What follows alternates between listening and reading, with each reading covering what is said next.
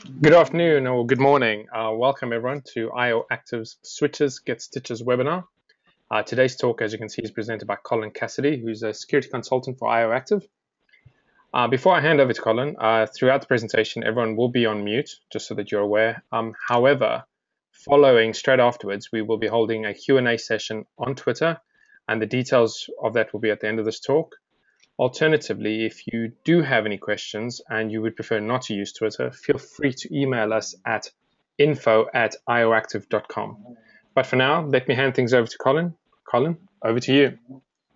Hello. Um, uh, good morning, good afternoon, good evening, wherever you happen to be. Um, this is Switches to Get Stitches. Um, we're going to be looking at industrial control systems, uh, in particular the sort of network switches inside of them.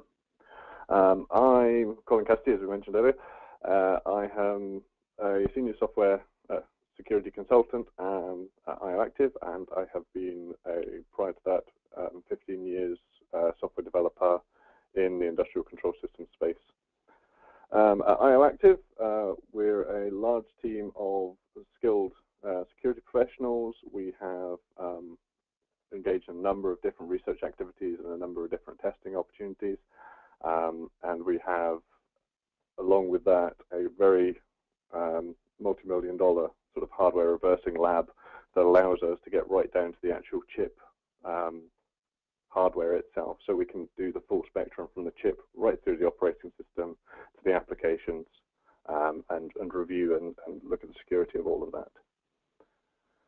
So we're going to be looking at industrial control switches um, and in particular the vulnerabilities in them.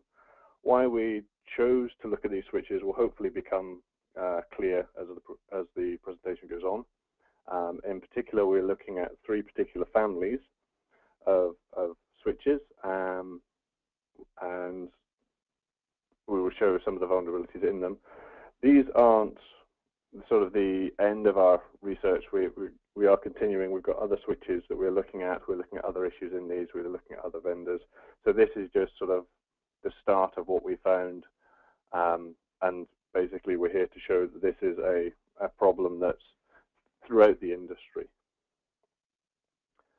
Um, this talk is interesting to you if you work with any of these switches, if you're a, work in a utility or a factory or a plant, if you have to manage or deploy these switches, it will help give you an understanding of the security stance that these switches give you in relation to sort of the rest of your environment.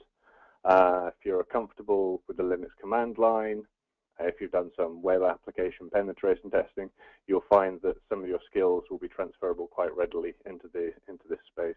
Some of the web stuff you've learned quite happily transfers. If you're a developer of the embedded firmware, this will give you hopefully an understanding of some of the issues that you'll probably have to face and come up with.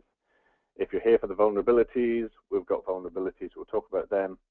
Um, and if you work for one of the switch manufacturers, um, don't be afraid, we don't bite. Um, we're here to help, so please do come and have a chat and we'll see what we can do for you.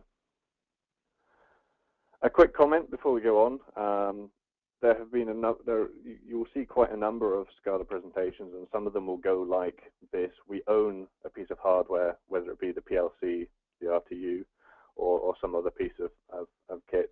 Essentially, we steal your underpants. We then do some magic, um, and effectively we win. Um, what we want to see, um, certainly here at iActive, and what, what, we want other people to, to present is essentially more intelligent content. Uh, our colleague at iActive, Jason Larson, has a simple challenge to illustrate this. If you had complete control over the process of a paint factory, how would you go about attacking that process? This is purely a thought experiment. Nothing's really going to happen. But if you stole the underpants of a paint factory using this, using this analogy, what could you do? And sometimes it's hard to really think about what actually, now that I have control, what are the steps I can do to sort of influence them? And hopefully we'll go to show in this presentation some of the things that you can go wrong so what's the point? Why are we focusing on industrial control systems? Is it any different from any other environment? Yes, it is. Um, in industrial control systems, we have to worry about the control path. We're not great, we're not so concerned about the data and, and particularly protecting the data. We're we're interested in ensuring that messages get from a control system to a piece of plant out in the field or in the factory such that something can happen. Um, or we're interested in ensuring that sensor data gets from the sensor, wherever it happens to be, back to the control system so that someone can see and act upon it. Um, so we're not really concerned so much about data confidentiality um, as maybe a lot of industries are, but we're very we're much more concerned about the integrity and availability of the data. Make sure that these things happen, that um, the messages get sent through, that the messages haven't been tampered with. Um, so that's that's why we're looking at switches. Is the switches that help ensure that those messages get through, and in a sense, sort of define what the process is. So where do you find these switches deployed? They will be deployed wherever they need to be in terms of the network. If you're dealing with a building management system, they're likely to be in a nice closet somewhere. If you're in the electricity or water space, you'll find that they'll be out in where the substations have to be, and that could be anywhere. It could be at the bottom of your street. It could be out in the middle of a field somewhere. These devices can be plugged in just about anywhere. So they're fairly rugged devices um, in the transport sector, they could be on bridges or trains or on ships, or they can be on oil rigs or gas fields. So they, these devices get dropped in just about anywhere that's needed, um, and not necessarily the most nice environment or the most accessible environment. So you want to set these devices up, put them in place, and leave them alone. Essentially, you don't want people having to go out every so often and, and just keep switching or making changes to them. One of the first things we discover when we look at, in particular, SCADA protocols is there's very little sort of um, cryptographic integrity. There's a number of reasons for this. Um, essentially, the, the, real key reason is the real-time and safety constraints. Um, in some environments, you need to make sure that a, a, signal gets from its sensor to the control system as quickly as possible, and we don't necessarily have time to package it up in a nice little um, cryptographic bundle send it over the wire and decrypt it at the other end. Um, there are timing issues that make sure this, this stuff has to happen. Um, and in some cases, the hardware is not necessarily up to spec to be able to do that sort of maths. If it's a small sensor, it's just picking up a small bit of value, sending it down the wire as quickly as possible. So again, this shows why the switches are important. The data going through the switches is unencrypted and there's no data integrity, which means if you can create a malicious firmware or in some way take over the switch, you can see the data, you can modify the data, you can change the data and have a potentially big impact on sort of the process that you're in and amongst. For those of you who are relatively new to the field, um, here's a list of some of the protocols. Um, by all means, take a note of one or two of them and maybe have a look at them and you'll see for quite a lot of them, there's very little sort of cryptography involved, either in terms of sort of um, data integrity or data confidentiality. It's just not a thing that happens an awful lot. So that's the introductions out of the way. We can go on to the actual switches themselves. We're looking at a Siemens Scalance version 4.3 switch. We've got a brand X switch. Um, we have the reason we've not necessarily named the manufacturer or the sort of the vendor for this one is we're not entirely sure who all the vendors are for reasons that will become clear as we progress. And we're looking at Garrettcom Family 6, uh, Family 6K. We'll go into this in terms of some vulnerabilities. We'll look at the web stuff. There'll be some light firmware reversing and some binary analysis. Um, it won't get too technical, though there may be some technical sort of screens up there. This just shows us sort of the how we do. I'll be describing what we do. So starting off with the Siemens switch, um, one of the first things we'll look at in this case will be how the authentication is managed. Um, and in this case, we can see that whenever messages are being sent back and forth through the management plane between myself or whoever it is who's connected to the switch, it sends this um, sort of concatenation of the user, the password, and this random string at the end, which it then pipes through MD5 to come up with a, a, a sort of MD5 value. The nonce, essentially this number at the end is given to us in the previous request, so we know that. We also can guess essentially the login login names, that's admin, So all we essentially have to do when we're attacking this is break the password. Um, MD5 is not particularly strong, so a password of eight characters can basically be broken in a few seconds. Um, anything 15 characters can take a few minutes, up to about 20 minutes. And that, using this technique, allows us to essentially extract the password from the messages on the wire. Um, the nonce itself um, doesn't seem particularly cryptographically strong. It has a number of properties about it that suggest that it doesn't change all that much. When you are dealing with nonces, you want something that's uh, not predictable um, and basically changes an awful lot. In this case, we can see that the first half of the value doesn't appear to change at all, and the second half um, appears to be going up, um, which is not really what you want in sort of a session ID. Digging into it even further, the first half of it is actually the IP address, and it's not the switch's IP address, it's the device that is connected to the IP address. So if I plug in to this switch, I know immediately what the IP address is, um, so that's half the values already worked out. The other half is actually the uptime of the switch, so how long the switches are being powered on and running for. Um, and you can use a number of tools that will quite happily interrogate the switch and give you this value. So knowing all this, it's fairly easy to guess what the nonce values are going to be before they're even passed to you. Um, and using these, it allows us to essentially perform session hijacking attacks. Um, so if someone's logged in, we can effectively take over their session. Now, for industrial switches, or indeed switches in general, um, a session hijacking attack is not particularly exciting because you don't tend to log into switches quite that frequently. It's something you sort of connect through to an end device. It's not often that you have to connect to a router or a switch. Um, think of the last time you had to connect to your own home router, for example. It doesn't happen all that often. So more interesting is some of the management functionality of the switch. Um, so what we discovered on the Siemens device is there's a HTTP request that you can essentially talk to directly without authenticating to the switch at all um, and you can ask it to download the log file. Um, and this will give you the log of what's happened on the switch with no authentication, just connect in, ask it nicely. You can ask it for its configuration, um, and this will send you, again, its configuration file, and this will include all the password hashes, allowing you to do an offline attack in your own time without being connected to it. And likewise, you can pull down the entire firmware of the switch. So just ask it, and it will give you, here is what I'm running.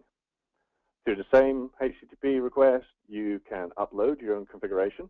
So one potential attack is to download the configuration, remove the password hashes it has as your own password hashes that you know and understand, upload that configuration, log on to the device using passwords you now know, do whatever it is you wish to do, and swap the configurations files, files back, and no one is any the wiser.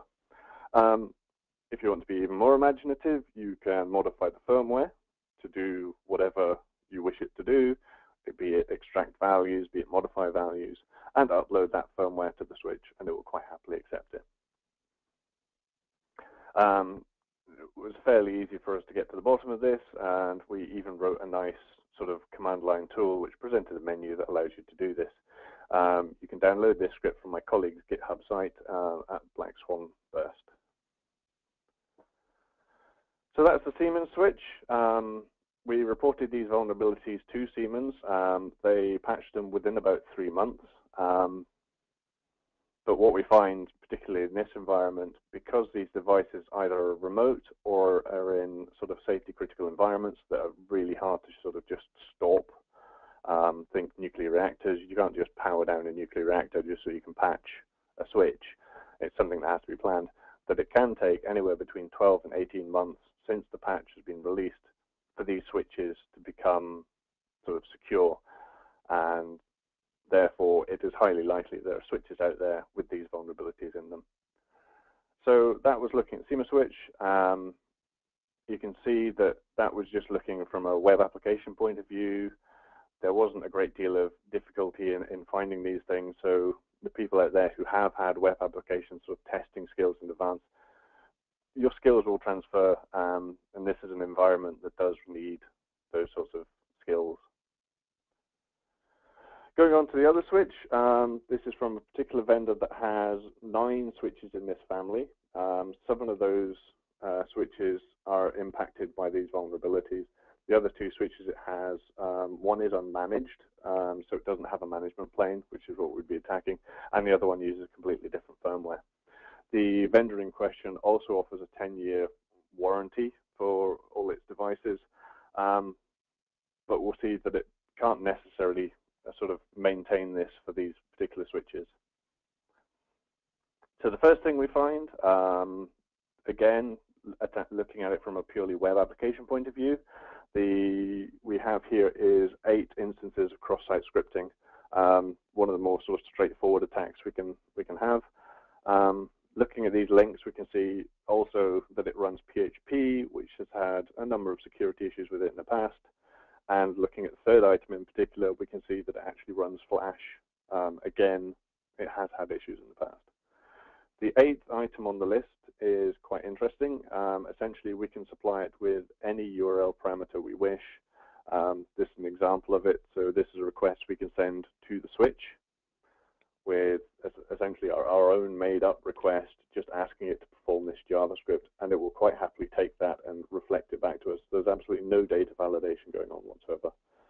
Um, and this is what that sort of thing looks like. In this case, we're just popping up a simple alert um, but essentially, you can add your own JavaScript and get this, the switch to perform any sort of processing you wish it to do.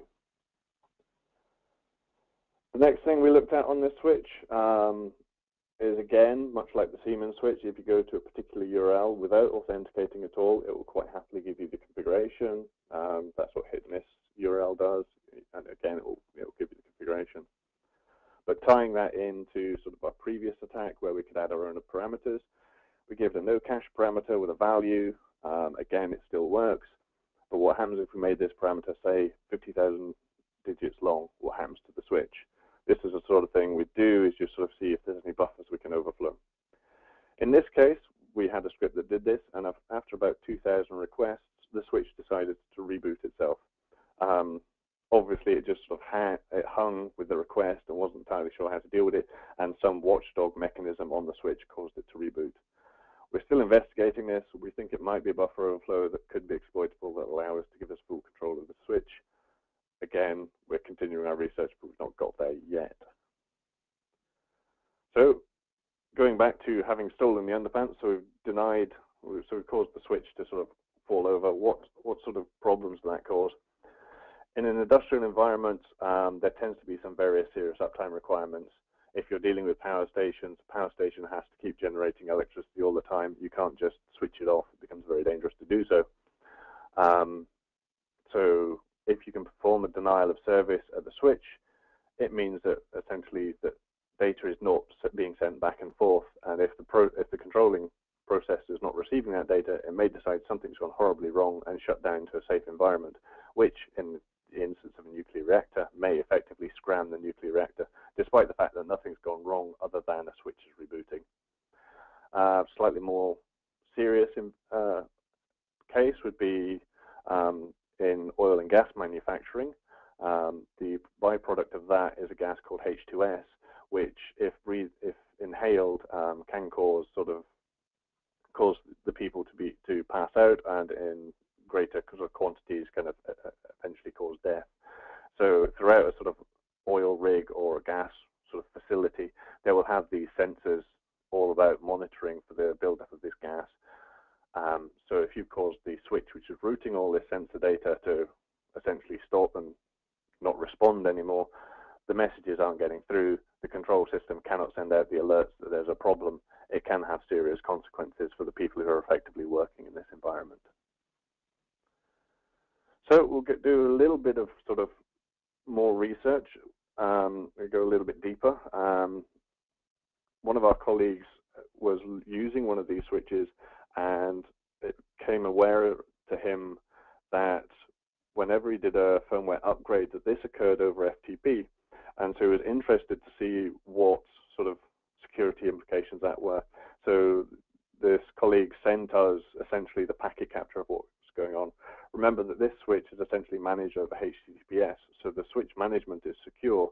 However, the firmware upgrade is sent over FTP, which is insecure, which effectively means that if we want to, we can pull out the firmware without too much trouble. And indeed, that's what we went and did. We analyzed the packet trace and we could see almost immediately that there's one very large sort of stream. That gives us an awful lot of information, and that's what we believed to be the firmware that was being up uploaded to the switch. So we could pull out that firmware and start investigating it. Um, when we're doing sort of firmware analysis, we start off using sort of two of our favorite tools. The first one is a is an executable called file, and what this does is this analyzes sort of large whatever file it happens to be and gives us an idea of what it is. It could come back and say it's a JPEG. It can come back and say it's an MP3. It can come back and say it's an executable. In this case, it just told us it's data. Not particularly exciting. The other tool we tend to use is an application called binwalk, and this is a sort of more in-depth version of file. It analyzes the whole executable and, and determines if there's sort of bits and pieces in it that kind of identify. So in the binary, uh, is there a section that is a JPEG? Is there a section that is an MP3? Is there a section that is um, executable? Is there a section that's HTML? Um, and it will tell you all the bits that this binary is made up of. And in this case, Binwalker told us nothing at all. So our two favorite tools told us nothing. So we're a bit of a loss. So we'll fall back old school and we'll run strings, which is a very simple tool that says pull out all the sort of text strings in this binary.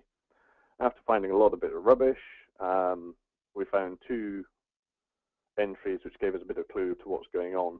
There was uh, deflate and inflate. So essentially we're dealing with a compressed file, which explains why we couldn't find them, I think. So attempting to deflate the whole thing fails. Um, it just doesn't quite work. There's some sort of magic that occurs on the switch end that we hadn't worked out at the time.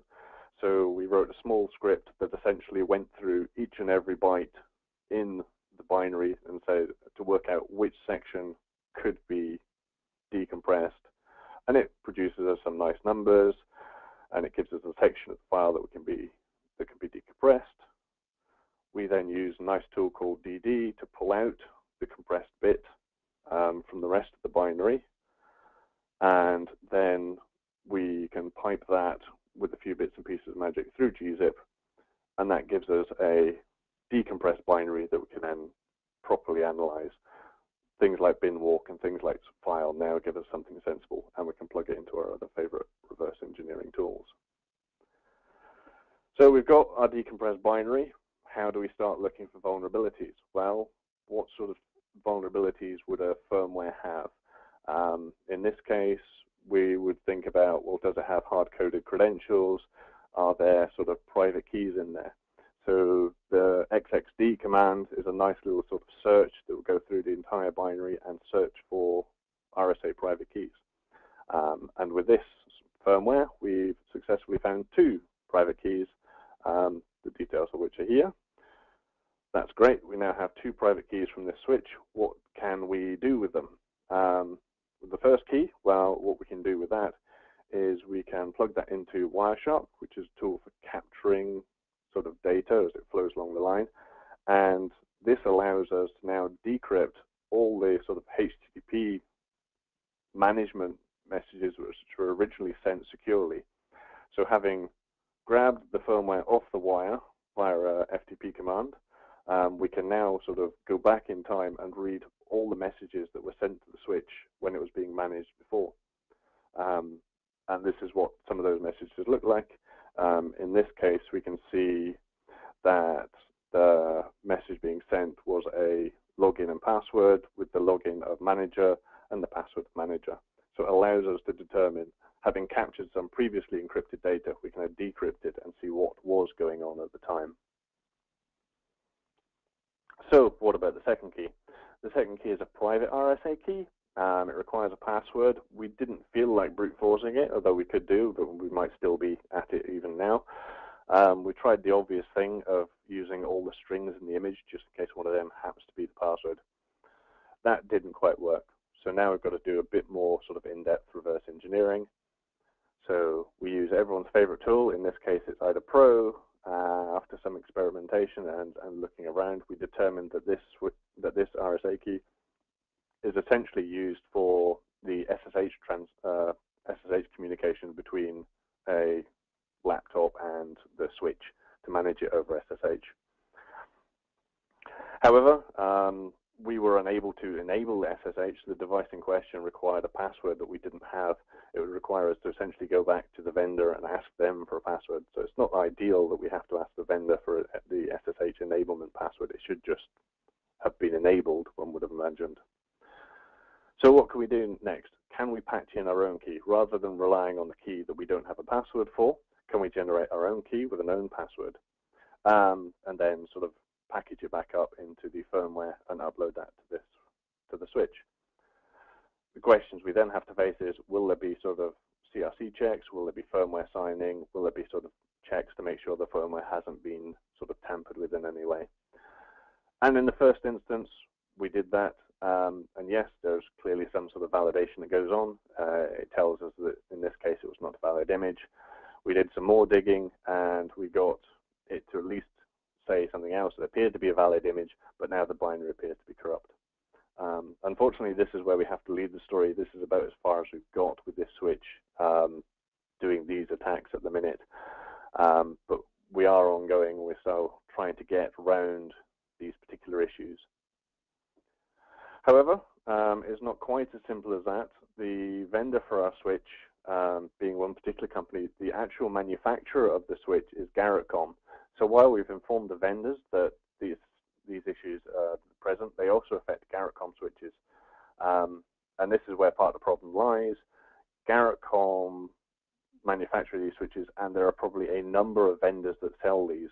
So whilst we can report that vendor A has a vulnerability in these switches, we don't necessarily know that vendor B doesn't have these vulnerabilities either. And you may see um, security reports out there saying vendor A switches are vulnerable to cross-site scripting. And if you're sitting there with vendor B switches, how do you know you're not impacted as well? Um, but what we do know is that these issues we found in the, this switch also affect the Garrettcom switches. So that's the eight cross-site scriptings, that's the one denial of service, that's the one hard-coded key.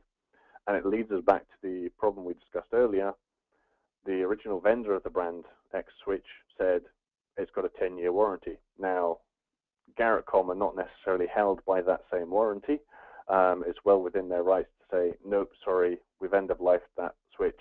Um, we're not supporting it anymore. There's not much we can do about it. And that leaves the original vendor in sort of a sticky situation as they promised to sort of support this. Um, so it's these sorts of problems that we also have to deal with. It's not just finding the vulnerabilities, it's managing who do we have to report these issues to and who is responsible for getting them fixed and are they necessarily going to get them fixed? It becomes a bit of a web very, very quickly. So having done all that, we've also managed to identify Garrettcom's private key um, in their switches, and that's here too. So having gone through sort of how we own these switches, let's go back to the original sort of problem we had before um, now that we can own a switch, what can we do? Um, we have stolen the underpants of the switch. What ultimately can we do with that? Well, we've seen we can alter the switch's configuration. That might allow us to ex exfiltrate the process data. So whilst there's not a great deal of confidentiality in the environment, there may still be sort of proprietary information that you want to keep. Maybe there's some aspect of the process that is um, particularly sort of intrinsically you want secured um, this would be one way to extract that. We can perform a denial of service attack. This can disrupt the process, and depending on the environment you're in, this can have catastrophic effects. Um, so basically, we've man-in-middle the entire process. We can disrupt the process. We can alter values, make it believe one thing whilst doing something else. We can drop process traffic. We do have this real-time constraints to see, deal with. Um, these are real-time systems, so you can't necessarily take over a switch, have it exfiltrate the data all the way to your laptop somewhere, um, modify the data and send it all back in. It does have to be managed on the switch, which is why sort of compromising the, the switch and managing to take over its firmware is important. It allows you to do it all on the switch itself. So summarizing, um, having got your nice control system up and running, you understand the security stance of it, um, there's just this small issue of how do we deal with the switches. Um, whereas before they're normally seen as a means to an end. If you're going to connect to something, you usually connect through the switch. You don't tend to think about looking at the switch as something you can look at and attack itself. So having understood your security stance before, we now have this problem of, oh, now we have to deal with the switches. And you've got issues like these session IDs not necessarily being brilliant, um, the fact that we can brute force them fairly easily, um, the fact that we can perform firmware uploads and downloads without any authentication, reflected cross-site scripting, denial of service without authentication, the fact that we can pull out the hard-coded uh, RSA keys and then for read all the data that goes back and forth over the switches from now until the end of time, and indeed everyone else's switches who has exactly the same problem. So a number of these, and we have the conflicts between, well, vendor A sells it, but it's a different manufacturer, and the manufacturer may end of life the device. So it leads to a number of problems. That's as much as we've got at the minute. Um, we are continuing this investigation. We're continuing looking at this. Um, there will be sort of more research into this that we'll be presenting on. Will we finally get arbitrary firmware? That's something we're working on. We are certainly looking at new switches and new vendors, and there are many other people involved in this research who are looking at all this stuff, and maybe they will be presenting next time. So thank you all for listening. Um, please join us on Twitter for the next 30 minutes or so. Ask us questions using the hashtag hash ask askioactive or email us at info at ioactive.com.